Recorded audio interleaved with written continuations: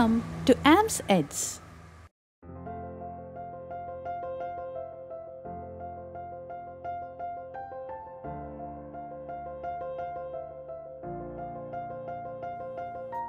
Always we are ready to say, proud to be an Indian. But getting down to the basics, we might realize that we are actually ignorant of the number of states that make up India and that some areas of our land are union territories. All these put together make up our incredible India, the land of unity in diversity. From this map study session of part 1, you will get a thorough idea of the 28 Indian states and the 8 union territories. This will help you to have a sound knowledge of the distribution tables that you learn in each textual lessons. You will also get to know the various rivers in India according to our ICSE syllabus, which will be your base to learn the rest of the map marking as it is the outline map of India that will be provided for your board exams. So, it's easy to learn the features mentioned in this syllabus based on the location of the rivers. Let's begin with a detailed study of the political map of India. Here, I am listing out the states in their alphabetical order. Andhra Pradesh, Arunachal Pradesh, Assam, Bihar Chhattisgarh Goa Gujarat Haryana Himachal Pradesh Jharkhand Karnataka Kerala Madhya Pradesh Maharashtra Manipur Meghalaya Mizoram. Nagaland. Orissa Punjab. Rajasthan. Sikkim Tamil Nadu Telangana Tripura Uttar Pradesh Uttarakhand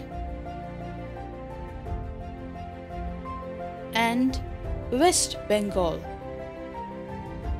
Now we shall check out the eight Union territories Andaman and Nicobar Islands, Chandigarh,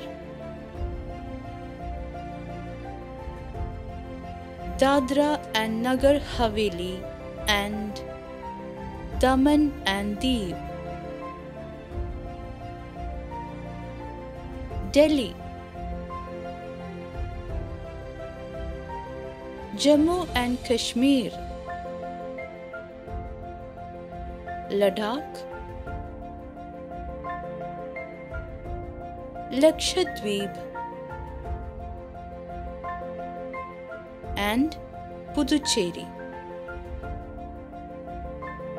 Certain specific details to be looked into before proceeding to the study of rivers. The board asserts that map marking should be done in the right manner or you don't get marks.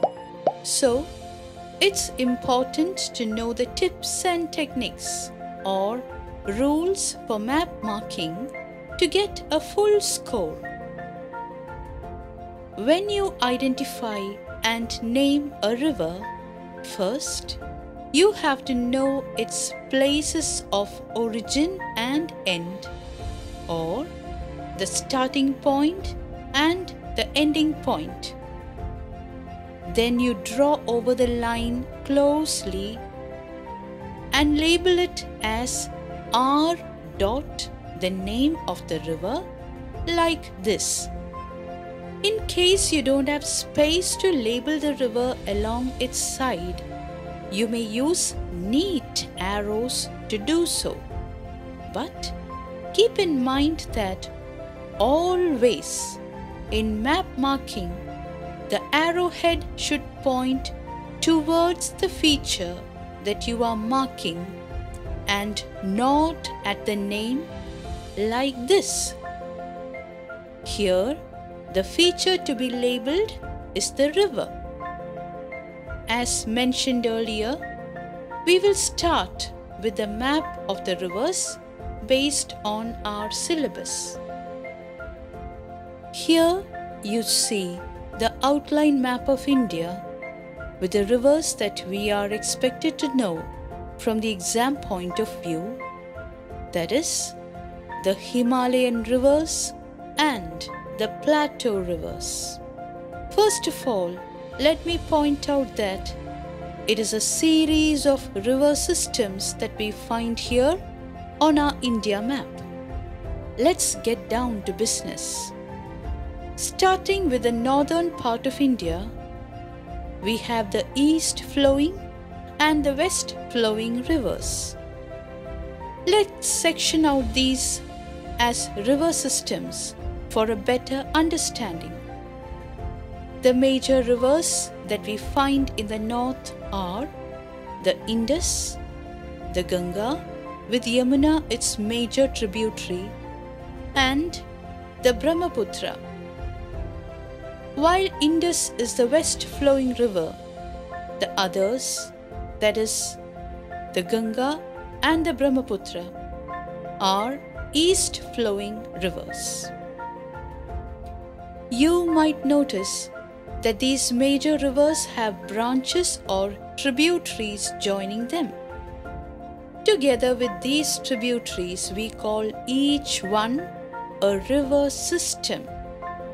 Thus, we have the Indus river system, the Ganga river system, and the Brahmaputra river system. Let's begin with a study of the Ganga river system as it is the longest with the plain being the world's largest river basin. The Ganga rises or originates in the Himalayas, cutting across the northern states from Uttarakhand to West Bengal. Most of its delta regions lie in Bangladesh. The largest distributary is the river Hooghly this region, where the Ganga empties itself into the Bay of Bengal, that is, the mouth of the Ganges, is called the Sundarbans. The Yamuna River joins the Ganga on its right bank at Allahabad from the west.